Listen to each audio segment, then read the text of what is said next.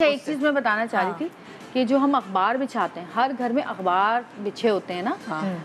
अखबार में जो कार्बन होती है ना उससे आते हैं लाल बेग। नहीं तो हम ब्राउन पेपर तो, बिछाएँ हाँ, हमेशा ब्राउन- कोई भी पेपर बिछाएँ आप हाँ। उससे आते हैं लाल बेग। जो ये पेनाफ्लेक्स वाले कपड़े नहीं होते?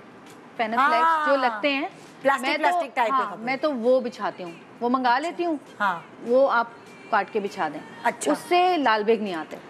हाँ लेकिन जब मैंने ब्राउन हाँ। पेपर के नीचे ये गोलियाँ डाल दी हाँ। कॉकरोच हाँ, आए नहीं। बहुत नहीं आते। पहले तो इतना तंग कर रहे थे लेकिन जब हो गए तो मरे हाँ, मरे पड़े गोलियाँ रखती हैं हाँ, ना, गोलियाँ रखते थे वरना बाकी जो लोग घरों में अखबार बिछाते हैं जितने भी हमारे घर में बेचते हैं हमारे घर में हाँ। बेचते थे तो जब मेरी मेड ने मुझे बताया था जोफी ने लेकिन कॉकरोचेस के आने की जगह तो वही नालियाँ हैं हमारे सिंक हैं जहाँ से कोई भी ऐसी जगह है लेकिन जो वो वहाँ से आते हैं जो इस्तेमाल नहीं हो रही होती।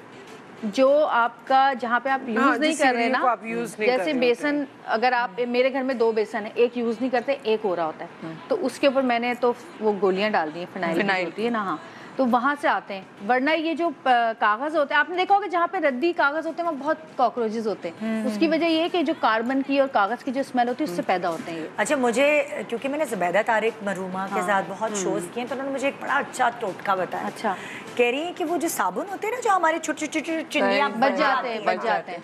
कहती है पानी उबालो इसमें वो साबुन हाँ, और। वो पानी जब बिल्कुल बहुत खौलता हुआ ना हो थोड़ा सा हल्का हो जाए तो वो पानी नालियों में बहा दो जहाँ जहाँ तुम्हें शक है कि कॉकरोच आ सकते हैं। सही, वो तो फिर वहाँ कहती हैं कॉकरोच के अंडे वंडे जो भी होते हैं वो भी खत्म। हम लेकिन तो बात सुनो जब वो जमेगा तो नालियाँ चोक नहीं हो जाएँगी? नहीं वो गल जाएगा ना पानी में गल जाएगा नहीं जब वो ठंड साबुन No, no, पानी तो क्या ड्रेन हो गया वो झाग वाला पानी बन जाता है ना हाँ, अच्छा। जब तुमने छोटे छोटे साबुन डाले हाँ। पानी के तो अंदर तो खत्म हो गया। उबलते हुए पानी मेरे बहुत मेरे घर में बहुत सारी ऐसी चीज़ें जगह हैं जहाँ जहाँ पे पानी नहीं एंट्री उनकी वहीं से ना वहीं नालियों से तो जब आप गरम गरम पानी वो उससे साबुन के अंदर शायद कोई ऐसा केमिकल होता हाँ, होगा साबुन में। जब वो डालोगे तो उन्होंने कहा अंडे भी कॉकरोचेस के खत्म हो जाते सही। हैं जड़ी से खत्म।